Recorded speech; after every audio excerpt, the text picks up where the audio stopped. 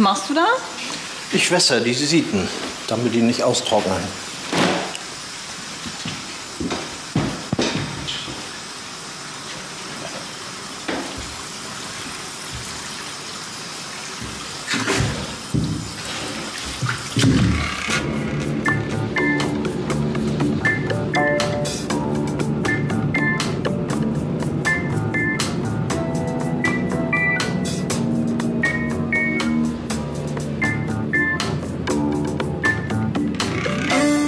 In letzter Zeit sehr viel über meine Zukunft nach.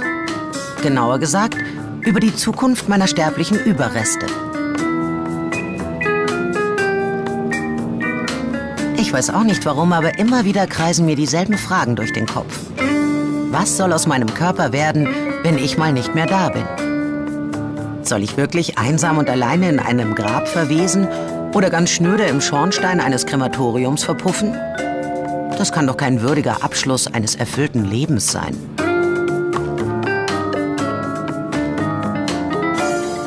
Deshalb mache ich mich heute auf die Reise, um für meine Gebeine eine bessere Zukunft zu finden.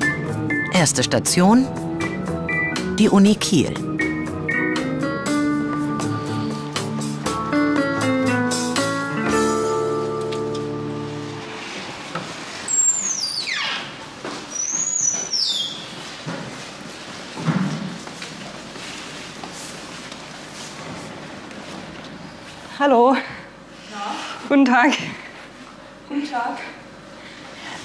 Muss ich denn machen, wenn ich Körperspender werden will? Sie müssen sich hier melden bei uns, telefonisch oder schriftlich. Unser Formular, letztwillige Verfügung. Da steht dann noch mal alles drauf, was die Leute wissen müssen. Ist eigentlich alles ziemlich selbsterklärend und davon bekommen wir dann ausgefüllt ein, also wenn die Leute dann sagen, ja, das möchte ich machen, schicken sie uns ein ausgefülltes Exemplar zurück und behalten eins für ihre Unterlagen zu Hause. Okay, jetzt klingelt es irgendwie. Hier Hallo? Frau Reimers, darf ich Sie, Sie gerade unterbrechen? Es passt gerade ganz schlecht. Könnten Sie... Nee. Das ist ja, das ist ja jetzt ein Ding. Wo kann der, also wohin könnte denn ein Notarztwagen noch fahren? Wissen Sie, ich habe ein bisschen Angst, die Ehefrau jetzt anzurufen und, und zu sagen, ihr verstorbener Mann ist da gar nicht. Das, das ist ja furchtbar. Oh Gott. Ups. Anatomisches Institut, äh, GZEC. Guten Morgen, Frau. Es tut mir sehr leid, dass ich Sie noch mal stören muss. Ähm, können Sie mir vielleicht noch mal genau schildern, wa- was heute Nacht passiert ist? Also ähm, wie, wie, von wem Ihr Mann äh, sozusagen ähm, abgeholt wurde? Wissen Sie nicht. Und äh, welchen, äh, als Sie den Notarzt gerufen haben, was, was haben Sie denn da gewählt? 112 oder, oder was? 112? Hm. Ja, muss ich mal, vielleicht wissen die das irgendwie. Ich habe noch nie beim Not, noch nie 112 angerufen. Oh. Kommt ja wohl nicht gleich die Feuerwehr.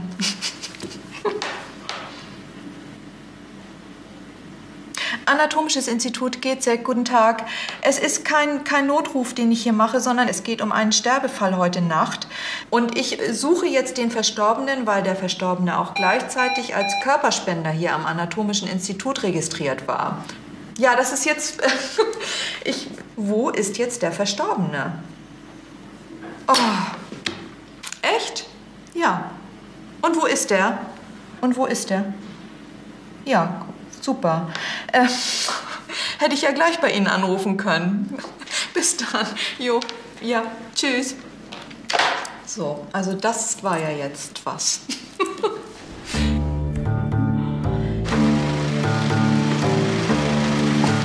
Soweit also das Bürokratische. Aber was machen die denn genau mit mir, wenn ich meinen Körper spende? Also, sagen wir mal, ich werde dann auch gefunden und an die richtige Adresse geliefert. Wie ginge es dann weiter mit mir?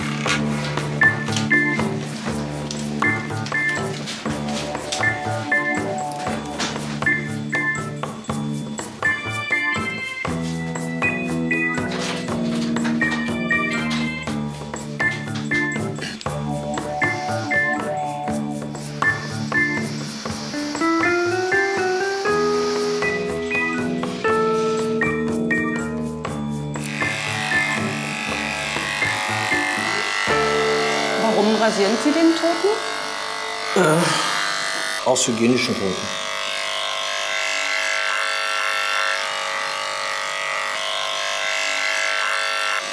Und damit die ein bisschen neutraler sind nachher, die Leichen. Die sehen alle einheitlich aus. Sie haben alle eine Glatze.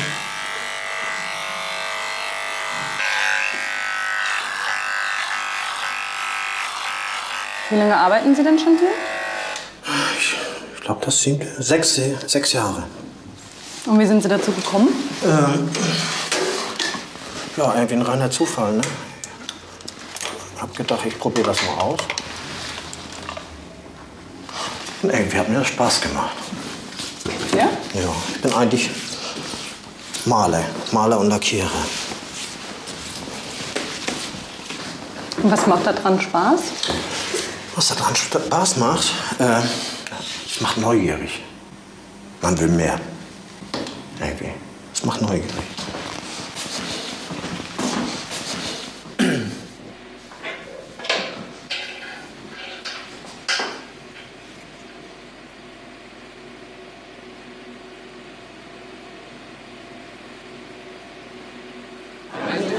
Es macht neugierig.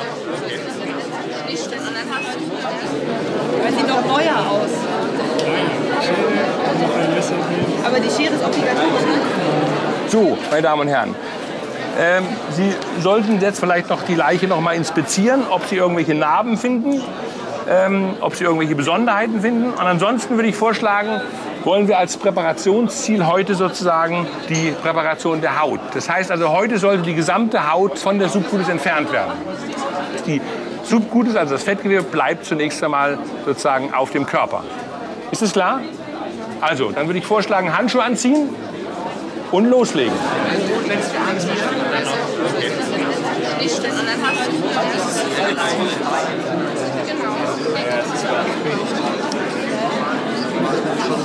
Ja, sehr schön.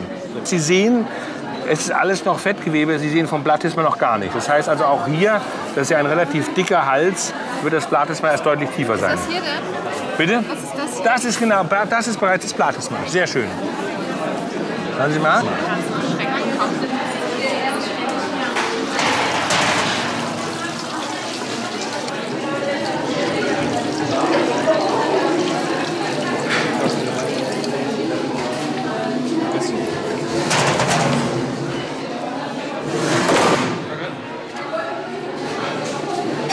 Dann äh, die Vena circumflexa femoris äh, medialis, die, die zu dem Trochanter Maya von äh, dorsal kommt.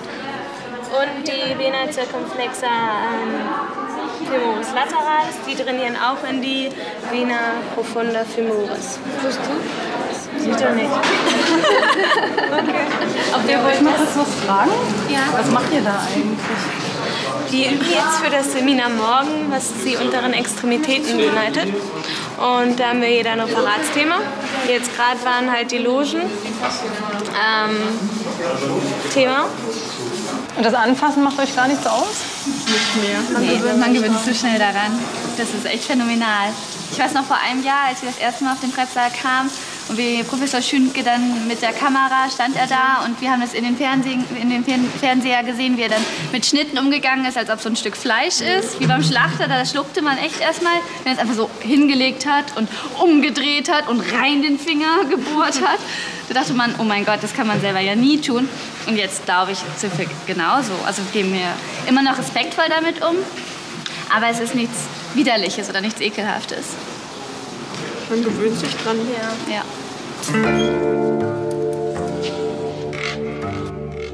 Ich weiß nicht. Will ich mich wirklich in die ungeübten Hände von Sezierdebütanten begeben?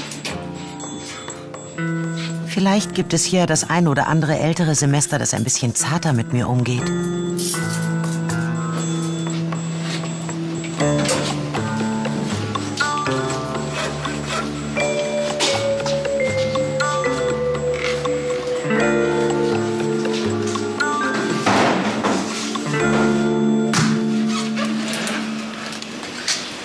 Gut, das sind jetzt Hände, die ich vorbereite.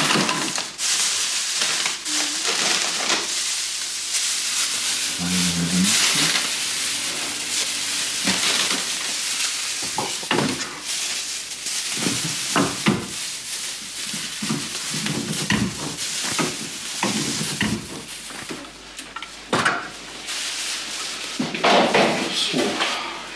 das sind jetzt die beiden,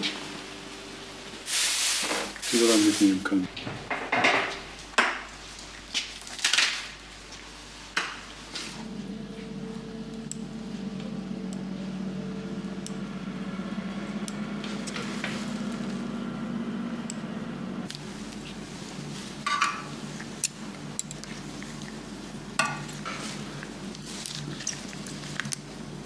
So. Wir injizieren Zwei-Komponenten-Kunststoff, der flüssig ist, der dann nach einer gewissen Zeit aushärtet. Hier an den Fingern können Sie es sehen. Ja, das ist schon die Injektion, die hier durchschimmert.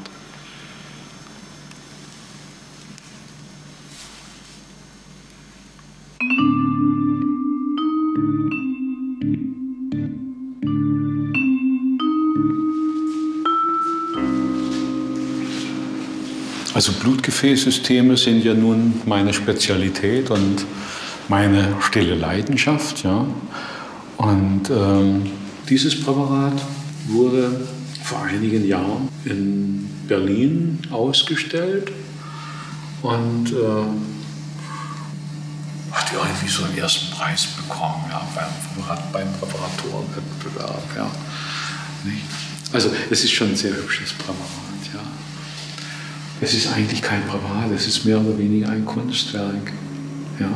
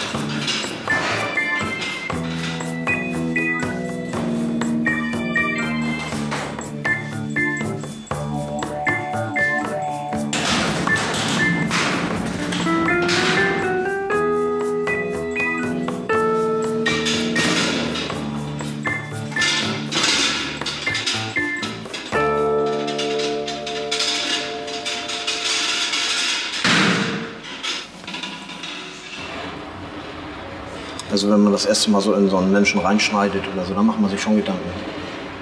Aber irgendwo, man macht sich, gar, macht sich keine Gedanken über die Leiche, in die man reinschneidet, sondern über sich selber eher. So, was machst du da jetzt überhaupt? Wie bist du denn hier gelandet? So irgendwie so, die Gedanken kommen eher. Dass man Dingen hört man dann auch manchmal so von irgendwelchen Freunden oder Kollegen, was machst du das immer noch?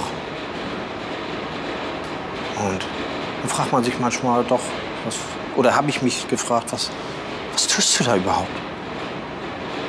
Ist das überhaupt korrekt? Ah, natürlich ist das korrekt, es ist für die Wissenschaft und ohne uns wird es auch keine Mediziner geben. Würdest du denn deinen Körper spenden? Nö. Nö, ich will verbrannt werden. Und dann. Warum nicht? Warum nicht? Weil ich hier arbeite. Und nicht, weil ich das jetzt irgendwo mir davor graut oder so. Weil ich einfach nicht möchte, dass meine Kollegen mich hier auf dem Tisch haben. Und mich auseinanderschnippeln. Äh, oder, ja, das hört sich bisschen. Überhaupt, ne? Das, das macht man irgendwie nicht, oder? Ich glaube auch nicht, dass die. Mein Kollege mir ins Fleisch schneiden würde, wenn ich da auf dem Tisch liege. Ich glaube nicht. Obwohl. Doch, doch schon, doch. Ich tot bin, ist sowieso vorbei. Na, tot ist, da ist nichts mehr. Dann ist die Festplatte gelöscht.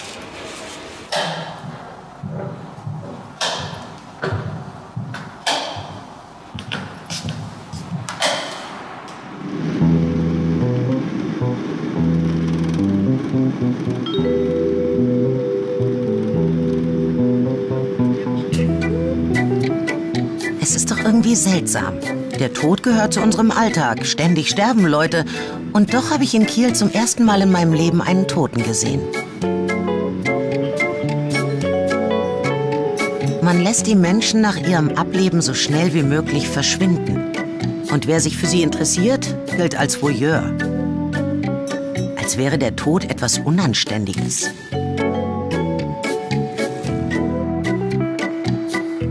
Mal sehen, was die Amerikaner dem Körperspender so zu bieten haben. Ich habe gehört, hier geht es nicht nur um das Einmaleins der menschlichen Anatomie. In Amerika wird mit den Toten ganz praxisnah Leben retten geübt.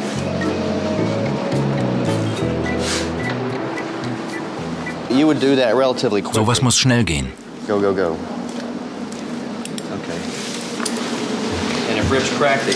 Wenn die Rippen brechen, egal. Hier geht es darum, Leben zu retten. Go, go, go. Now in the ED, you know, you're going to have to. If, if there's In der not- Notaufnahme gibt es wahrscheinlich keine Säge. Du musst sowas benutzen. You holding it? Yeah, you got to whack right here.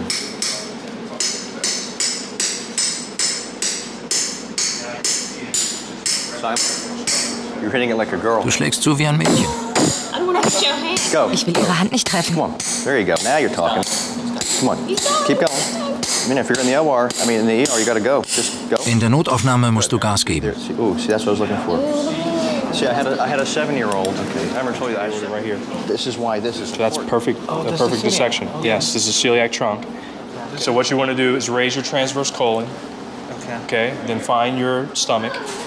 Pull the bladder Heb den Dickdarm hoch, where finde den Magen. take it. Here's your Zieh die Blase rüber, heb sie hoch und dann räum das hier rüber. What you do is keep mobilizing this. Arbeiten Sie hier anders als an lebenden Patienten?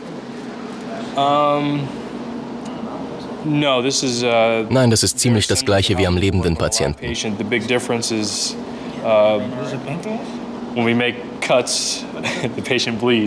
Der große Unterschied, uh, im Normalfall blutet der Patient, wenn wir schneiden, aber wir wenden die gleichen Techniken an. Sie würden einfach reingreifen und darin herumwühlen wie jetzt. Yes, yes. Yep. Yep. Yep. Das wusste ich nicht. See, I like you, you got the guts. Yeah. You see, that's why I like thoracic. We got both Highlands, TAs. Oh, wow. Nice and clean. Isn't that great? If you guys want to look at this, this is awesome. Do you, are you guys looking at anatomy as well, or just Interessieren Sie sich auch für Anatomie? Ja, sicher. this is spectacular? If you guys, I don't know if you want to pan up and take a shot, but this is the Das hier ist großartig. Solche Erfahrungen können Nachwuchsärzte hier machen. In einer wirklichen Operation kriegt man sowas nie zu sehen, sondern nur den Ausschnitt, an dem man operiert. Aber es ist so wichtig zu wissen, wie alle Organe und Gefäße im Verhältnis zueinander verlaufen, damit man Verletzungen in der OP vermeiden kann. Das ist wirklich toll. Spektakuläre Anatomie. Das ist schön. Absolutely. You guys just want to use these instruments here, and Yeah, we'll use what you had over there. Mm-hmm. We're, we're taking over. Isn't that nice? You like Das gefällt dir, oder? Ja, darf ich es mit nach Hause nehmen?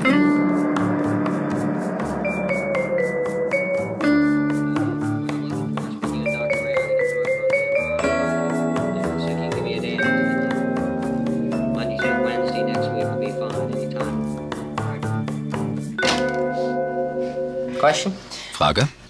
Ich würde gerne etwas über Ihr Körperspendeprogramm in Erfahrung bringen. Was würden Sie mit meinem Körper hier machen? Um, about 30 years ago, we started engaging with doctors, clinicians who Vor 30 Jahren haben wir uns mit Ärzten zusammengetan, die ihre Fertigkeiten verbessern oder neue Operationstechniken ausprobieren wollten.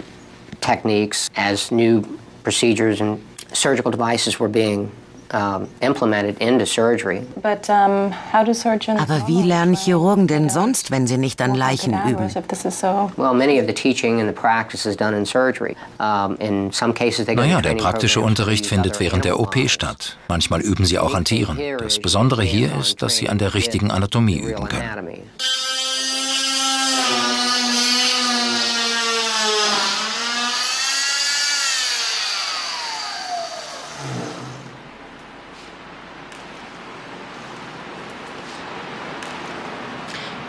Darf ich fragen, was Sie da machen? Klar. Uh. Ich übe ein paar Gefäßeingriffe. Ich wusste, dass ich heute Nachmittag frei habe, also dachte ich, ich komme her und vertreibe mir ein bisschen die Zeit. Spend a couple hours and just keep busy. Macht es Ihnen was aus, an einer Leiche zu arbeiten? Nicht an einer frischen. Näher kommt man an einen lebenden Patienten nicht heran. Uh, I guess part of it is maybe we get a little desensitized to the fact Wahrscheinlich sind wir ein bisschen abgestumpft, weil wir im Krankenhaus arbeiten. Und da sterben Leute halt. Es ist uns nicht egal, aber der Tod gehört nun mal zum Leben. to our life. So.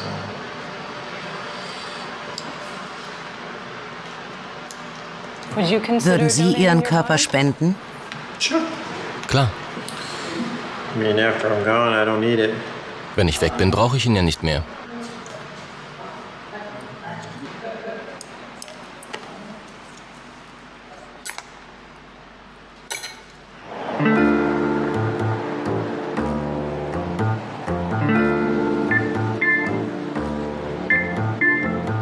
Brauche ich meinen Körper wirklich nicht mehr, wenn ich weg bin?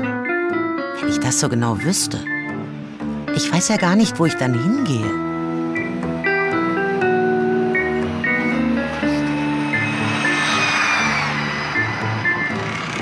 Ist mein Körper dann überhaupt noch ich? Oder nur noch ein Gegenstand?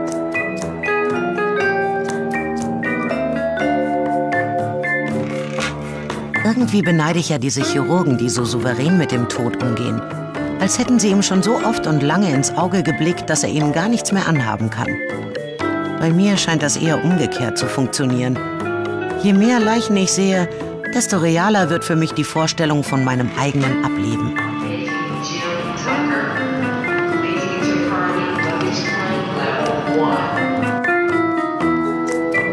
Ich weiß langsam gar nicht mehr, warum ich meinen Körper überhaupt spenden will. Glaube ich dadurch weniger vergänglich zu sein?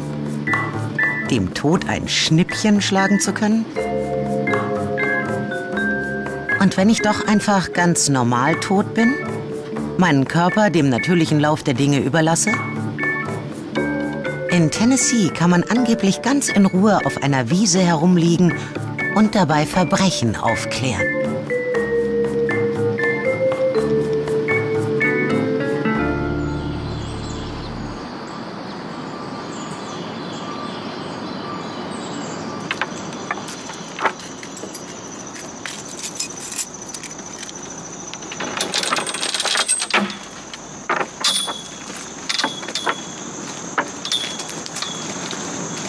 Welcome you to the Body Farm.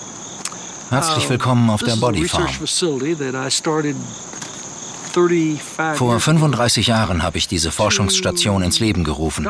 Ich wollte die Veränderungen dokumentieren, die eintreten, wenn ein Lebewesen verwest. individual animal dies, the changes that occur.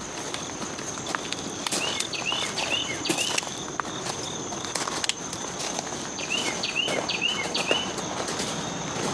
I've got to find a fresh one for you, one that's in the early stages of decay. Ich muss eine frische für Sie finden, eine im Frühstadium der Verwesung.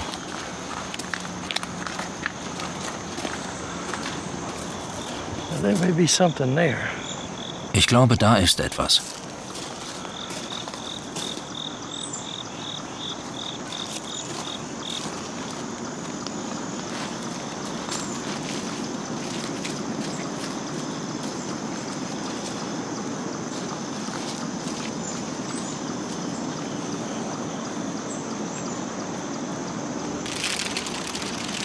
Okay, this is okay.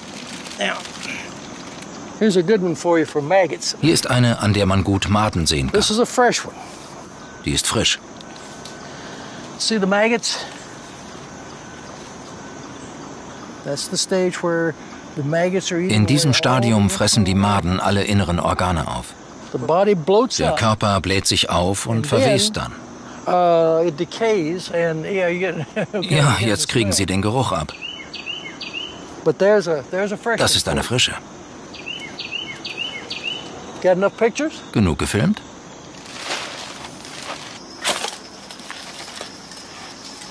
Would have to pick a spot.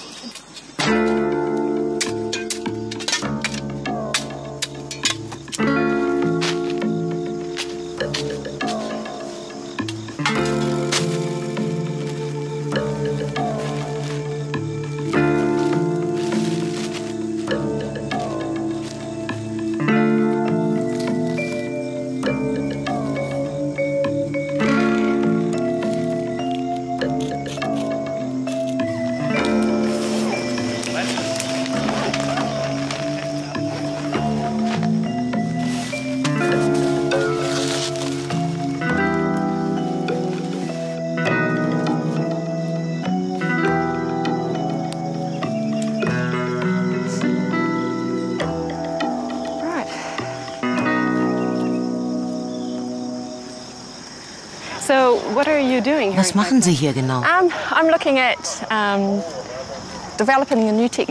Ich entwickle eine neue forensische Methode, um den Todeszeitpunkt zu bestimmen.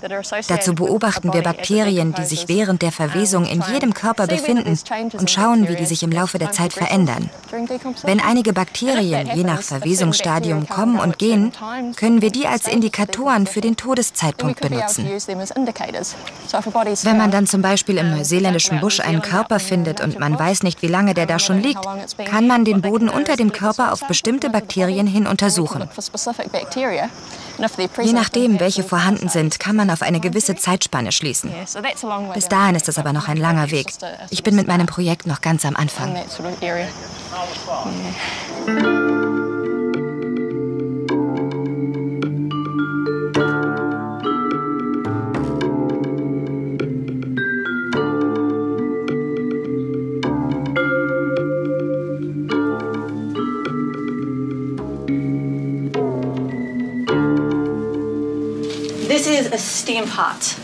Das ist ein Dampfkochtopf.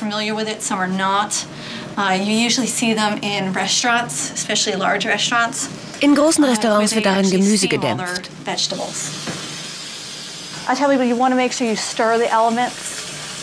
Man muss alle 10 Minuten umrühren. Wir kochen die Teile 30 bis 40 Minuten.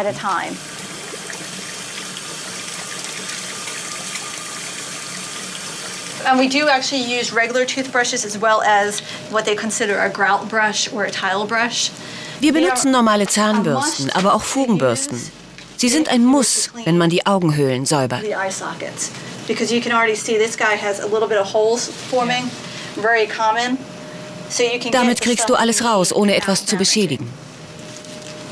If this was a whole skull, That is what the bobble brush is for. Okay, yeah. It looks silly. Wenn der Kopf noch ganz ist, benutzt du die Flaschenbürste. Sieht albern aus, aber du kommst damit bis ganz nach vorne. And then put that through and you actually can lean up here, which the flat brush Mit einer flachen Bürste geht das nicht.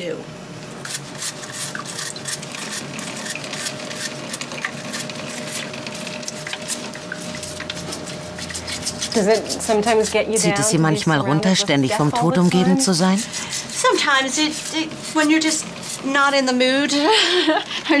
Manchmal, wenn man sowieso nicht gut drauf ist, dann hilft es nicht gerade. Aber meistens macht es mir nichts aus. But most of the time, it doesn't really bother me.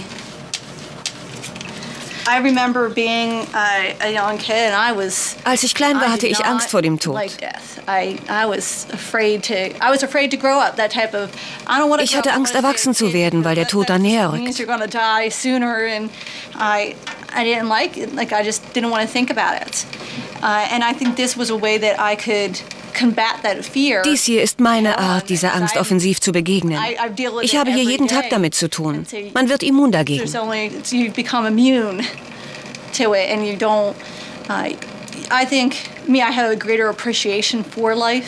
Ich glaube, ich schätze das Leben jetzt mehr. Man will die Dinge gleich tun, statt sie aufzuschieben. Das Leben jetzt leben.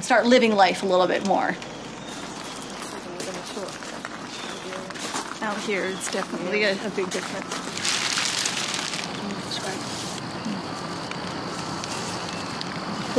So viele Maden habe ich seit Wochen nicht gesehen. Echt? Letztens hatten wir ein paar lustige, die sind so gehüpft. Yes. Die waren überall auf mir drauf. Ja, das sind die schlimmsten.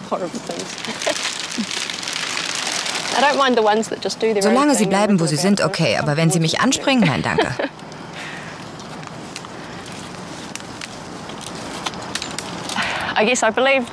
Ich glaube, dass Menschen eine Seele haben. Und wenn man tot ist, ist sie nicht mehr da. Der Körper aber wird wiederverwertet. So ist das gedacht. Die Moleküle zerfallen und formen andere Lebewesen wie Gras, Bäume und Tiere. Wir sind alle ein Teil dieser Erde. I quite often um, give talks for um, school groups and Ich spreche oft zu Schulklassen. Die sagen meistens, Verwesung ist total widerlich, Igitt. Ich antworte dann, stellt euch vor, alles, was je gelebt hat, würde hier noch auf der Erde rumhängen.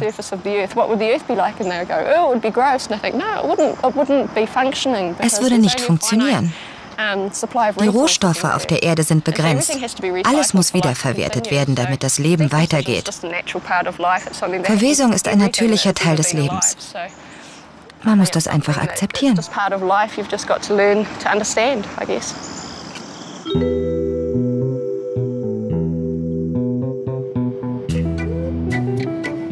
Ich fürchte langsam, es geht gar nicht darum, ob ich meinen Körper freiwillig spenden will oder nicht. Von irgendwem wird er ja doch verwendet. Aber dann hat der Tod ja vielleicht wenigstens so etwas wie einen Sinn. Wie bei einem ewig währenden Staffellauf werden unsere biologischen Bausteine von Lebewesen zu Lebewesen weitergegeben. Recycling hin oder her. Bevor ihn die Maden kriegen, gebe ich meinen Körper lieber den Menschen. Allerdings würde ich dann gerne etwas echt Spektakuläres machen, es nochmal richtig krachen lassen. Ein letzter großer Auftritt vor dem endgültigen Abgang. Schließlich ist man ja nur einmal tot.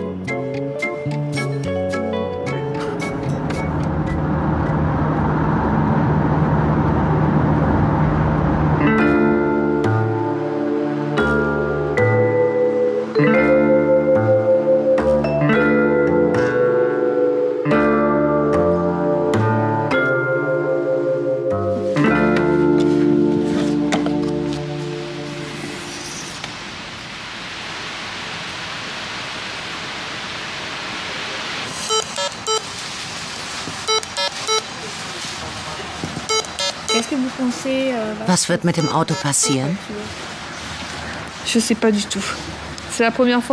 Das weiß ich nicht. Wir führen zum ersten Mal einen Fußgängerunfall mit so einem Auto durch. Der Kopf wird wohl nicht auf die Windschutzscheibe aufprallen wegen der Höhe. Das Versuchsobjekt ist 1,60 Meter groß. Es wird wohl nur einen Aufprall auf der Motorhaube geben, vielleicht auch am Rand.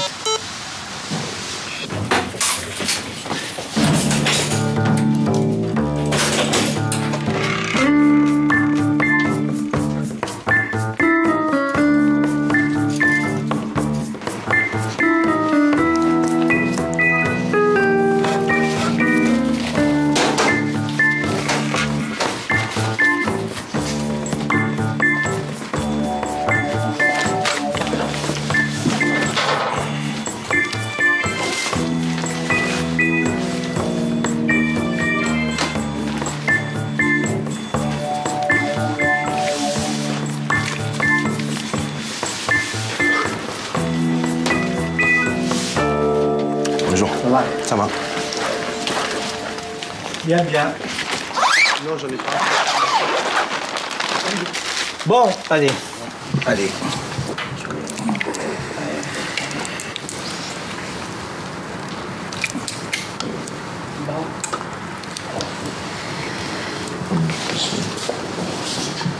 Non mais... Donne à moi. Allez, bien le prendre, bien le prendre. On a mis en place des capteurs Wir haben Sensoren an strategischen Punkten des Körpers befestigt. Et c'est des Die messen beim Aufprall die genaue Bewegung der Gliedmaßen im Raum.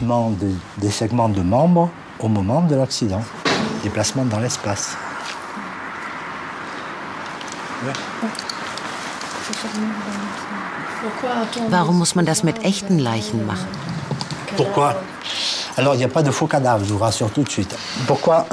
Es gibt keine falschen Leichen, um das vorweg zu sagen. Warum eine echte Leiche? Wenn ich einem Dummy aus Stahl und Plastik eine Verletzung zufüge, bekomme ich kein wissenschaftlich verwertbares Ergebnis. de cette expérimentation. Si je casse Wenn ich ein Stück Stahl zerbreche, brauche ich ganz schön Kraft. Wenn ich den Oberschenkel eines Kindes zerbrechen will, brauche ich ganz wenig Kraft. Ein Dummy ersetzt also nicht die Realität. Die biologischen Kriterien für die Verletzlichkeit eines Körpers kann man nur an einem gespendeten Körper messen, an einer Leiche.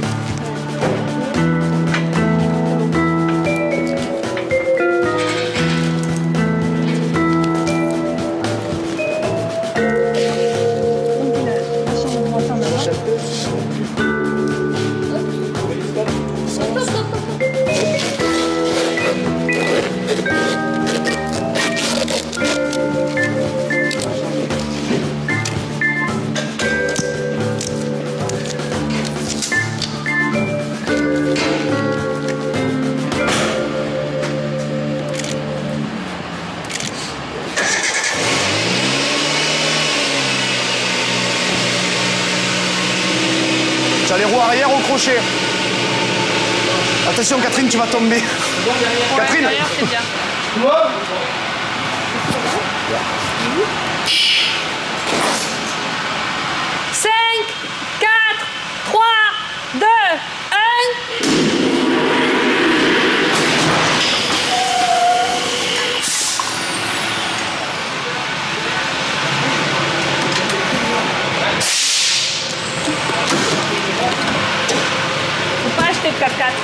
Sollte keine Geländewagen kaufen.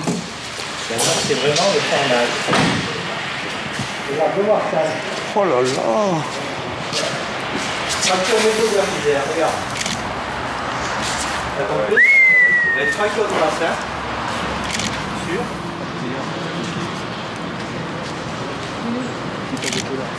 Je pense pas qu'il se fracture au niveau du tibia.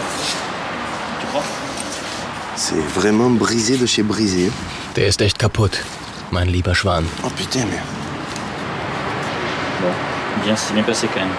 Es ist gut gelaufen. Un, Deux, trois. Au revoir, merci. Auf Wiedersehen. Danke.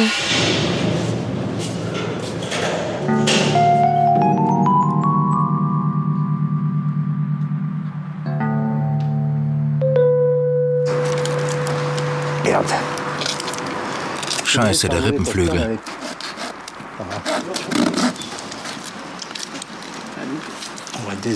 Dann werden wir das Hühnchen mal entbeinen. Côtes. Die Leber wurde von den Rippen durchbohrt.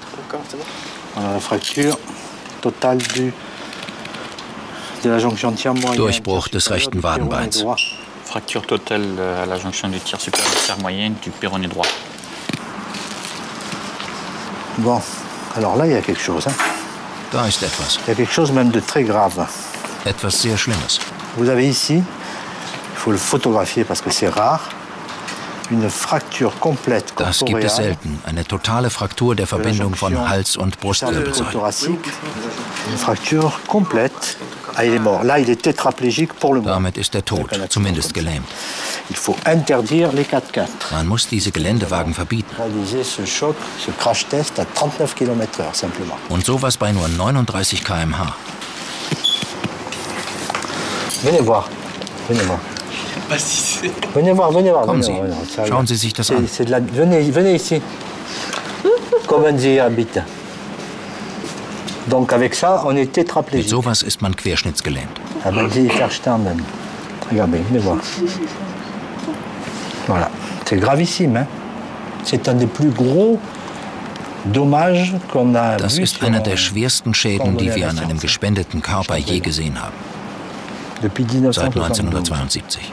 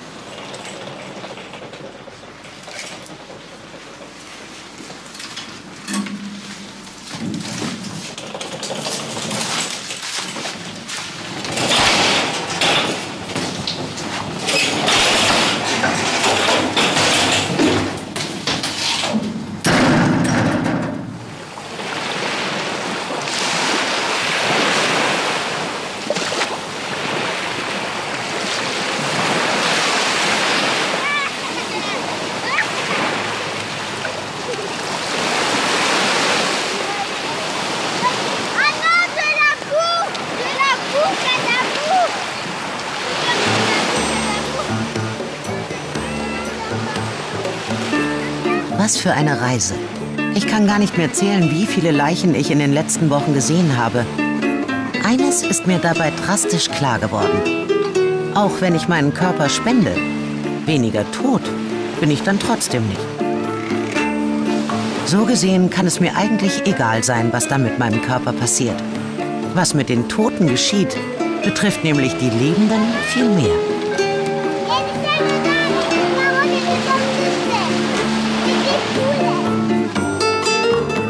Ich habe mich jedenfalls entschieden.